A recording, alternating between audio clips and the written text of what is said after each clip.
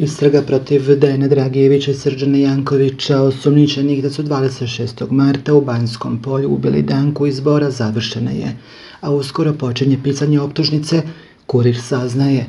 Kako je izvor za kurir kaže, više javno tužilaštvo u Zaječaru kompletiralo je sav dokazni materijal u prethodna četiri mjeseca, te da je sad na redu finalna faza, odnosno pisanje i podizanje optužnice.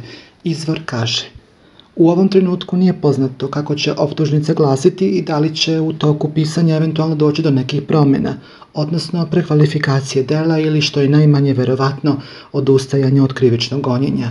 Ono što je poznato je da tužilaštvo ima rok da do kraja septembra optužnicu dostavi Višem sudu u Zaječaru na potvrđivanje, govorio je izvor za kurir. Završena su sva veštačenja, analize, a saslušani su svi svedoci. Ukupno je bilo 25 svedoka. Među njima su bili i roditelji Danke Ilić.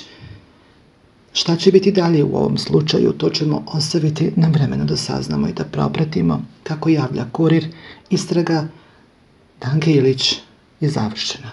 Završena su sva veštačenja, analize, a saslušani su i svi svedoci. Kako će glasiti optužnica, saznaćemo kada dođe vreme za to.